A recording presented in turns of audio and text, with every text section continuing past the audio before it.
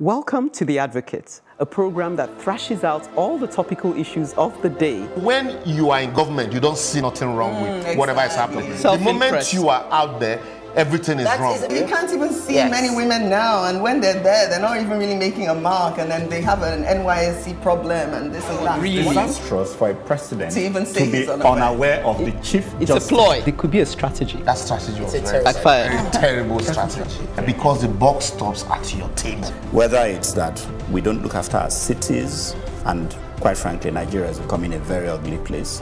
When you are the only one feeding the people with this news and there is nobody countering them, it becomes, you know, the, the news.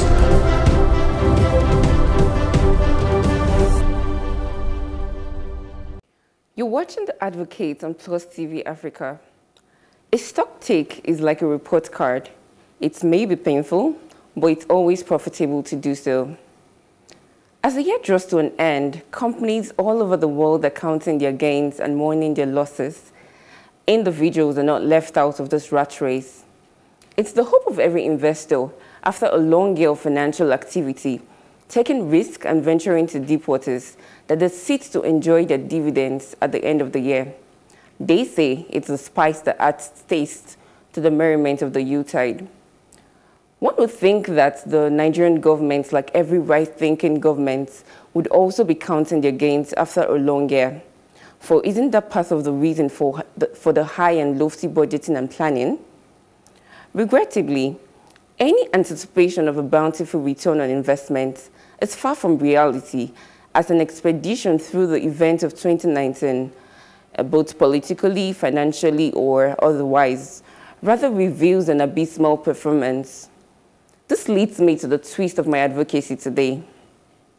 From the very first straw, being the 2019 general elections, we invested in an evidently flawed electoral process, leading to the re-election, or should I call it, appointment of the incumbent president of the Federal Republic of Nigeria. A major general, as he's now being called, is perhaps our well-deserved return on investment. If our health systems are still heavily plagued with grossly inadequate and ineffective medical equipment and facilities, minimal regard for health professionals, a threat to import medical practitioners from the abroad, while our homegrown practitioners are left to export themselves to a place to find acceptance and greener pastures, then I think our government has failed woefully by investing absolutely zero value on human life. Hence the higher turnover of debt rates at, that could have been easily avoided as our return on investment. The annual returns of an invested corrupt judicial system sees the hallowed temple of justice swirling in full circle in favor of political shenanigans, masquerading as Democrats, first evident in the removal of the Chief Justice of Nigeria, and then to the last straw, invading a court in session to rearrest a common man who had been granted bail, thus displaying an utter disregard of the rule of law. One wonders how honorable this court really is. The fact remains that the challenges we face as a nation are innumerable, and as we mourn over the losses of this year, let us also not our hope for the coming year. The taxpayers are ready in solidarity to continue, in, to continue investment in our nation. And while we advocate and wait for the government to turn a new leaf and map out their positive New Year revolutions, our voices will not be silenced. Neither will our collective will for a better Nigeria be stifled, death penalty or not. Let me say that, um, yes, two, two, 2019 has been a difficult year. Um, if you look at all the indices, and, and, and you've pretty much drawn everything out from the rule of law, the election cycle, health, Roads, education, education, um, everything. so It's um, employment, you know, um, foreign direct investment. It's, it's been poor. Um, I think you know it's it's really a challenge of leadership. And we talked about this um, during uh, before the we, we- started this, that it is a we need leadership that you know is ready to make the sacrifices. Um, we talked about it because I think that the foundations on top of which we build this Nigerian system it's, was not designed for, for you know, um, how should I put it, growth. You know, we have spots of what we tend to be, but this, the way the system comes and brings us back. Um, so it's, it's a challenge. Um, and you know, look, for me, and, I, and I've talked about this on the show before, it, it appears that all we know how to do in this country and we know how to do well is to fight for power. So if you look at we're in 2019, we just finished an election in March. We're already talking about 2023, 2023. and right. the political actors are all scheming about who to be president, who to kick out, who to start. I mean, no one's talking about health. No one's talking about education. Um, no one is talking about the way you know. Forward, yeah, so there's a race for for how should I put it? I don't want to use the word. I'm on television, um, but there's a, there's a there's a race for going backwards rather than going forward. Um, and it's, it's, it's scary because I, you know, I, when you look at, you have young kids, um, there, there's no sight of hope. Not even, there's no sight of it. Mm -hmm. And I think that's what we need to be building because we, we need to say, um, unfortunately, you know, the way politics works is that it's every four years, not annually. So it's uh, the way we've operated, um, that and we need to say in four years, are we going to see progress in health, in education, in, in, in elections, in security? Um, are we?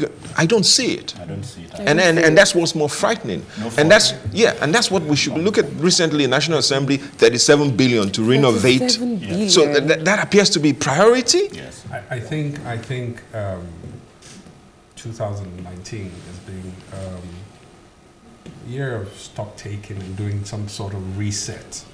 And it's a challenge for us. There are myriads of problems that we can continue to see it, you know, till the end of the year. But it, it poses a challenge to us. So what do we want in 2020? I would, you know, suggest that we begin to hold our leaders accountable how? We can. How? From your local government uh, representatives right down to your governor, whoever. Because 2020, the government will ask for a lot from you. VAT is going up, taxes would be enforced. Now, if they're doing this, it, it, it now uh, it's it's imperative that you demand for service. You demand for all of the social services, amenities we're mm -hmm. talking about. So it's a reset, it's a challenge for us. So mm. What do we want to do? I mean, I, also I'm looking at, I like the fact that you're using the expression return on investment because that brings you back to a business, yeah. to say, mode. And that's part of what I feel is seriously lacking. And that, that's when he's saying, what do we do? My mind is still struggling with how do you communicate? Because I feel that to a large extent, the people at the leadership have been blinded by the money factor and the power for power's sake. So they're not reasoning in a very rational way because we've said this on The Advocate before that the thing they want, if they would only just, it's like a farmer, put the seed in the ground, it, there'll be enough for everybody. But eating the seed is, is just like you're just squandering even your own fortunes down the line. So it's so short-sighted. It's like, it's, it's a kind of madness. It's a mania. That's really, so when you look at it, it's like, how do you get these people to see that if we invest, when there is surplus, even you will be laughing to the exactly. bank. Why are you consuming? Are you happy to keep consuming and then the very basis or foundation on which you hope to reap, you're destroying its future? So I just feel that there's something fundamentally wrong with the psyche of the leadership? Or is it that when they get in there, they're mesmerized by all the money and the power? Or is it that they start off being like that?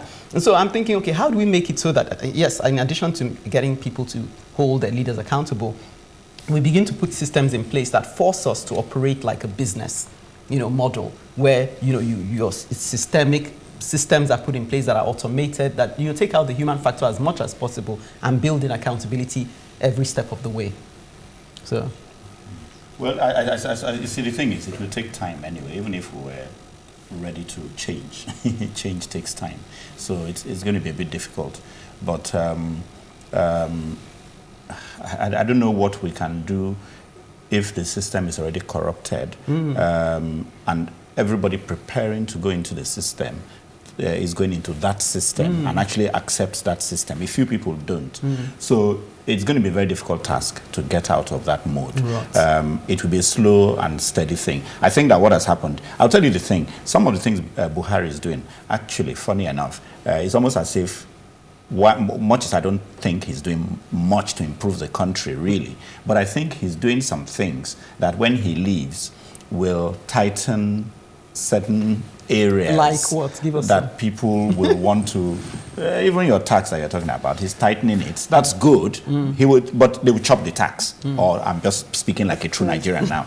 But let's hope, let's even get more tax, right? Okay. So he's doing a lot of these things so that by the time he goes, I agree, I agree with you in that. that You- he's doing perhaps, some things uh, like that. What Saidu is saying, um, I I see the connection there, Hmm. that citizens should get more involved. And the more this tax system comes up, yes. I think he's going to push the to citizenry Yes. to demand more because now Yes, a lot more of, because we, we've been a rentier economy where you take money, but now the taxes, it's, it's, it's going to be interesting to see how that unfolds. Well, the, the plight of Nigerians is so many. We can't begin to recount all of the challenges and problems we face. But I had hoped that we would focus on evaluating our role in nation building as much as that of governments, for we're all in it together. After the break, Saidu does a more focused type of projection